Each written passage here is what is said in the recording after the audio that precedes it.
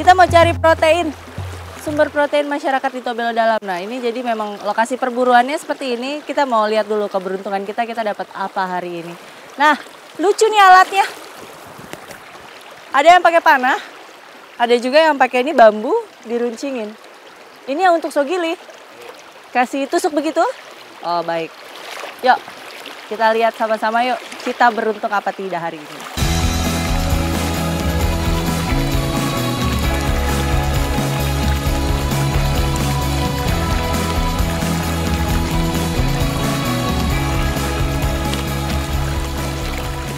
Sagil itu bersarangnya yang di bawah-bawah batu begini. Nah tadi kenapa para bapak-bapak ini pakai kacamata, terus seperti nyelup-nyelupin kepala, itu maksudnya gini, kalau sagil itu dia ada gelembung, gelembung di saat bernafas, nah itu yang kelihatan ya. Ada gelembung-gelembungnya, ada bubblesnya itu. Ini coba kita lihat nih, ini berhasil apa enggak, soalnya ada jauh di dalam sana. Penasaran dengan keahlian para penjelajah Halmahera, saya pun mencoba kemampuan saya mencari target buruan. Ini kacamata bikin sendiri kan?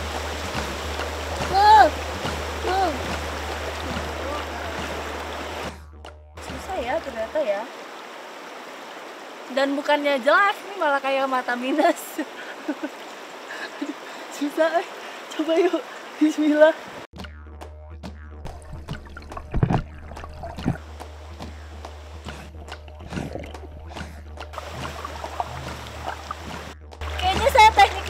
Salah deh.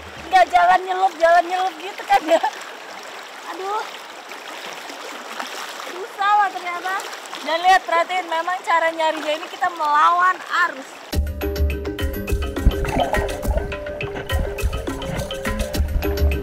Komunitas suku Tobelo Dalam di Pulau Halmahera Besar ini tersebar di sebagian wilayah hutan Halmahera Timur. Biasanya bermukim di daerah pinggiran sungai.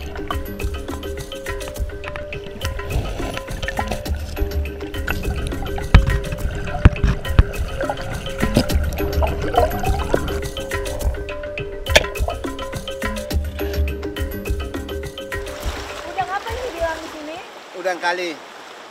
Ya, oke. Di sini bilangnya udang kali memang ini udang air tawar, tapi lihat deh. Seperti udang selingkuh nih yang di Wamena. Ada capit kepitingnya, lihat. Eh, besar. Nah, tadi perhatiin kan, dia memang bersembunyinya di dekat kayu-kayu situ ya. Nah, Nah, jadi memang habitatnya biasanya di yang berarus seperti ini, tapi perlu diingat juga karena dia cari tempat persembunyian, itu biasanya ada di balik-balik kayu atau batu ya. batu. sah ya kan ini yang tadi saya bilang prestis gitu walaupun susah nyarinya tapi begitu lihat oh ternyata hasil buruannya yang seperti ini keren ya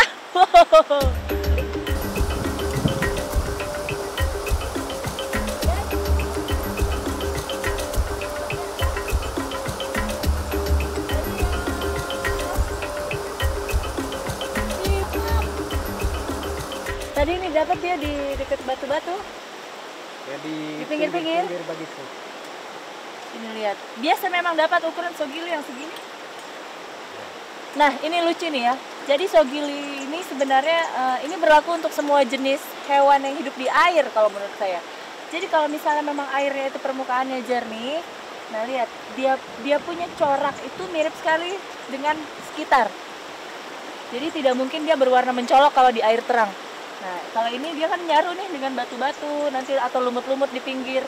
Itu sebenarnya teknik eh, pertahanannya dia dari predator, tapi karena berhubung sudah ahli, tetap bisa lihat ya. Tadi saya cari-cari tidak nampak itu bagaimana. Itu. Dia masih ke atas sana lagi. Oh, itu juga dapat. Wadah. Ya. Ini dapat di bawah batu atau Ya, di bawah batu. di bawah batu? Iya ya. Pinjam ya. Ayah, ayah, ayah diputar. Lihat warnanya deh. Nah, ini sungai besar. Kalau ada sungai-sungai kecil, DP warna begini juga Ada yang begini, ter- ada yang hitam. polos.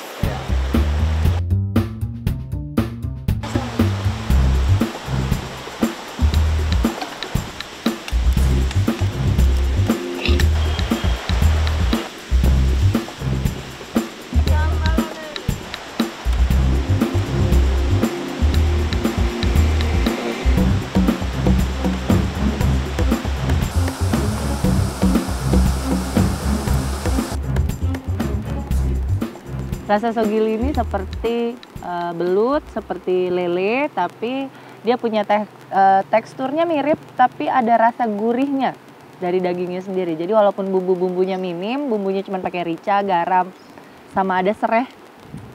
Tapi kalau overall setelah masuk ke mulut rasanya enak.